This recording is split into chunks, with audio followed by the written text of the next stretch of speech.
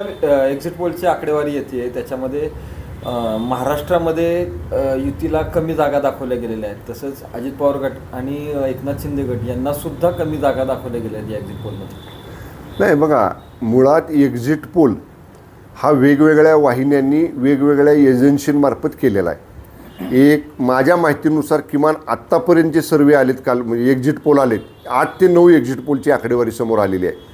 काही ठिकाणी आपण म्हणताय तसं एखाद्या सर्वेमध्ये दाखवलेलं आहे एक्झिट पोलमध्ये पण काही ठिकाणी तेहतीस जागा चौतीस जागा ह्या एन डी एला दाखवलेल्या आहेत. त्यामुळं एक्झिट पोल हे वेगवेगळ्या सर्वेंची पद्धत कशी आहे कुणी कुठल्या विभागामध्ये केलेलं आहे पण तरीसुद्धा मी आपल्याला सांगतो की हे प्राथमिक अंदाज आहेत. महाराष्ट्रातलं चित्र हे आम्ही फील्डवर गेलेलो आहे. माझ्यापुरतं म्हणाल तर मी एकूण नऊ लोकसभा मतदारसंघामध्ये गेलो होतो पूर्ण निवडणुकीमध्ये. आणि त्या ठिकाणचं चित्र जर पाहिलं तर आज मतदाराने आम्हाला विचारलं म्हणजे आम्ही जेव्हा मतदारांपर्यंत गेलो की जो खासदार मोदी साहेबांना पंतप्रधान करायला जाणार आहे त्या खासदाराला आम्ही मत देणार आहे. म्हणजे लोकांनी पक्ष बघितला नाही आघाडी बघितली नाही उमेदवार बघितला नाही लोकांनी एवढंच बघितलं मोदी साहेबांच्या मागं उभं राहणारा कोण आहे त्याला आपलं मत द्यायचं. त्यामुळं महाराष्ट्रामध्ये जो उद्देश ठेवून आम्ही समोर चाललो होतो पंचेचाळीस प्लसचं त्याप्रमाणे आम्ही त्या टार्गेटच्या जवळ पोचलेलो आहे एवढंच मी तुम्हाला सांगेन. ओएसिस फर्टिलिटीच्या तज्ज्ञांनी आय व्ही एफ उपचार पद्धतीद्वारे एक लाखांहून अधिक जोडप्यांना मातृत्व प्राप्तीचा आनंद दिला आहे. मोफत अपॉइंटमेंट बुक करण्यासाठी आजच संपर्क साधा.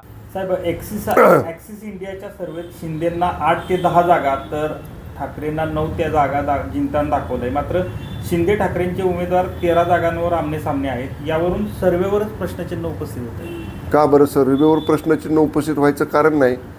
शिंदे साहेबांच्या नेतृत्वाखालची शिवसेना ही मूळ शिवसेना आहे. पक्षाचं नाव आम्हाला आहे. धनुष्यबाण चिन्ह आम्हाला आहे.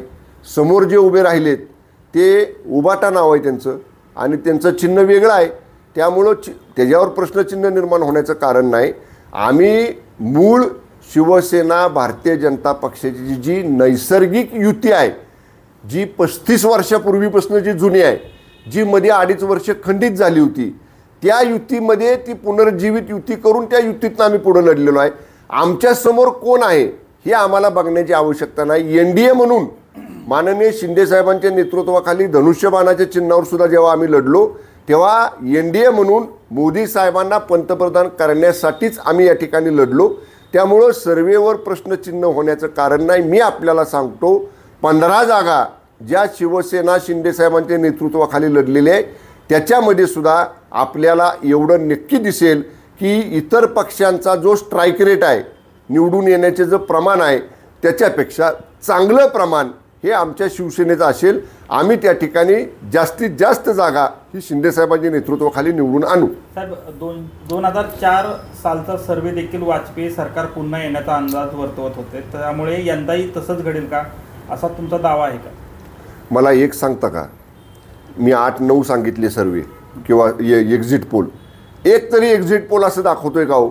की एन डी ए येणार नाही किंवा एन डी ए बहुमताच्या जवळ जाणार नाही. सगळेच्या सगळे एक्झिट पोल सांगतायत. कुणी सांगते सव्वा तीनशे कुणी सांगते साडेतीनशे कुणी सांगते पावणे चारशे कुणी सांगते तीनशे पन्नास. म्हणजे एक्झिट पोलमध्ये सारांश काय आहे? तर बहुमत. हे माननीय मोदी साहेबांच्या नेतृत्वाखालच्या एन डी एचं येतं आहे.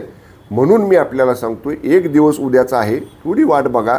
आम्ही जे नियोजन केलेलं आहे आणि लोकांनी जे माननीय मोदी साहेबांचं नेतृत्व स्वीकारलेलं आहे त्यामुळंच चारशेच्या जवळपास हा एन डी एचा आकडा आपल्याला चार तारखेच्या निकालात गेलेला दिसेल. राऊत संजय संजय राऊत म्हणतायत की हे एक्झिट पोल बोगस आहेत आणि मॅनेज केलेले आहेत. काय सांगाल? त्यांनी त्यांची एक्झिट पोल सांगावेत. म्हणजे संजय राऊतांचा नऊच्या नऊ एक्झिट पोलवर जर विश्वास नसेल तर ते मला वाटतं आता कुठेतरी बाहेर आहेत. देशात नाहीत वाटतं. बाहेर परदेशात आहेत. कारण सकाळच्या वेळी ते आता दिसायचं बंद झालेत जरा त्या वाहिनीवरती. पण त्यांनी त्यांचा एक्झिट पोल जाहीर करा ना. म्हणजे किती जागा त्यांना येणार हे बघा आता नऊ नऊ एजन्सीनी केलेला नऊ नऊ वाहिन्यांनी केलेला एक्झिट पोलसुद्धा जर राऊत बोगस म्हणत असतील तर मी मागंसुद्धा तुम्हाला म्हणलं होतं बघा माझं कुठलंही स्टेटमेंट राऊतांच्या बाबतीतलं काढून तुम्ही बघा मागच्या दोन वर्षातलं. संजय राऊत यांचं एक स्टेटमेंट सत्य झालंय. एवढं मला तुम्ही सांगा फक्त की शंभूराज देसाई साहेब हे संजय राऊत बोलले होते आणि हे खरं घडलंय. हे आहे ते बोलले तसं घडलंय. कधीच तसं घडत नाही. ते काही ते बघा हे सरकार महायुतीचं आल्यापासून ते म्हणत होते आउटगटकेचं आहे. जाणार मतभेद होणार. निम्मे आमदार आमच्याकडे परत येणार. आता विधानसभा निवडणुकीची वेळ आली. सगळेचे सगळे पन्नासचे पन्नास आमदार एक जागे आहेत. उलट त्याच्यामध्ये मान्य अजितदादांच्या पण चाळीस बेचाळीस आमदारांची भर पडली. संजय राऊत साहेबांना भडक वक्तव्य करायचं स्वतःकडं के लक्ष केंद्रित करून घ्यायचं. मला मी खूप मोठा विश्वज्ञानी आहे. हे संपूर्ण देशाला राज्याला सांगायचं ही त्यांची सवय आहे. आज सामान्य माणूससुद्धा संजय राऊतांच्या कुठल्याही वक्तव्याकडं गांभीर्याने बघत नाही. साहेब महाविकास आघाडीचा दावा असा आहे की तीसच्या तीस ते पस्तीस ते जागा ज्या आहेत त्या महाविकास आघाडीला मिळतील असा दावा नेते नेते मंडळी व्यक्त करतायत. आपला किती असणार आहे या महायुतीचा दावा यामध्ये? महायुती बाबतीत मी सांगितलं आम्ही पहिल्या दिवशीपासून पंचेचाळीस प्लसचं टार्गेट घेऊन पुढं चाललेलो आहे. आणि मी माझा अनुभव सांगितला मगाशी की लोक आम्हाला काय म्हणत होते मोदी साहेबांना पंतप्रधान करण्यासाठी कोण खासदार जाणार आहे त्याला आम्ही मत देणार आहे. हा आमचा अनुभव आहे माझा स्वतःचा नऊ लोकसभा मतदारसंघातला अनुभव आहे. मग त्याच्यामध्ये ग्रामीण भागातले आहेत मुंबईमधले आहेत सगळीकडचे मतदार पश्चिम महाराष्ट्रातले आहेत न- नगर जिल्ह्यातले आहेत संभाजीनगरचे आहेत मुंबईतले आहेत सगळ्या ठिकाणी मी गेलो. आज लोकांची जर ही मानसिकता आहे तर मी आणि लोकांचं हे बघा लोकांचा प्रतिसाद बघायला मिळतो. लोकांचा प्रतिसाद आम्ही सगळ्या ठिकाणी बघितला उत्स्फूर्त प्रतिसाद लोकांनी दिला. मी गेलो अनेक ठिकाणी डॉक्टर मंडळींच्या वकील मंडळींच्या प्राध्यापकांच्या मान्यवरांच्या समाजातल्या बैठका मिटिंगा घेतल्या. लोकांनी प्रश्न चांगले चांगल्या पद्धतीनं त्या ठिकाणी मांडले. कशासाठी मोदी साहेबांचे नेतृत्व पाहिजे? रॅली काढल्या कॉर्नर सभा घेतल्या. तिथं लोकांनी प्रतिसाद चांगला दिला. त्यामुळे मी एवढंच आपल्याला सांगतो पंचेचाळीसच्या जवळ ही महायुती महाराष्ट्रामध्ये जाईल. अजित पवारांचे जो शिव राष्ट्रवादी आहे त्या राष्ट्रवादीला जागांच्या बाबत शंका व्यक्त केली जाते. जवळपास चार जागांमध्ये सफलता मिळणार नाही असं चिन्ह आहे असं बोललं जातं या सर्वेमधून. माननीय अजितदादांच्या नेतृत्वाखालचे राष्ट्रवादी काँग्रेस पक्ष हा महायुतीमधला एक घटक पक्ष आहे. आम्ही सगळ्यांनी जिथं माननीय अजितदादांचं नेतृत्वाखालचे उमेदवार उभे होते तिथं इतर सगळ्या घटक पक्षांनी मोठ्या पक्षांनी त्यांचं काम केलं. जिथं आमचे उमेदवार उभे होते तिथं माननीय दादांच्या नेतृत्वाखालच्या कार्यकर्त्यांनी आमचं काम केलं. आम्ही एकमेकांच्या हातात हातू हातात हात घालून काम केलेलं आहे. त्यामुळं माननीय दादांच्या नेतृत्वाखालचे सुद्धा जास्तीत जास्त खासदार आपल्याला उद्याच्या चार तारखेच्या निकालात निवडून आलेले बघायला मिळतील. सातारा लोकसभा मतदारसंघात तुम्ही स्वतः बरंच काम केलेलं आहे आणि या मतदारसंघामध्ये युतीची सीट जाईल अशा प्रकारचा सर्वेतला अंदाज व्यक्त केला जातो. आणि खास करून कराड पाटण भागातून विरोधकांना मतदान जास्त होईल अशा प्रकारचा अंदाज व्यक्त केला जातो. ठीक आहे ना आता जास्त बोलण्यापेक्षा एक दिवस थांबून वाट बघा.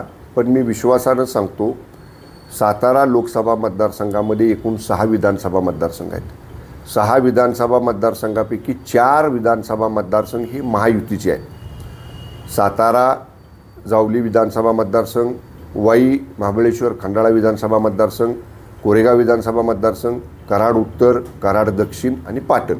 याच्यापैकी मी सांगितलं तर सातारा जावली वाई कोरेगाव आणि पाटण हे चार विधानसभा मतदारसंघ हे महायुतीचे आहेत. आणि या चारही विधानसभा मतदारसंघात महायुतीचे उमेदवार मान्य उदयनराजे भोसले साहेबांना चांगलं मताधिक्य मिळेल.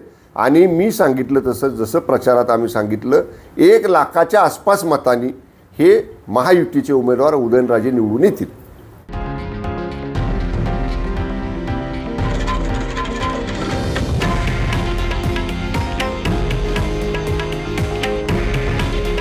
हे आहे देशातील नंबर वन न्यूज नेटवर्क. आणि आपण पाहत आहात टी व्ही नाईन मराठी. काळजी तुमची हित महाराष्ट्राचं.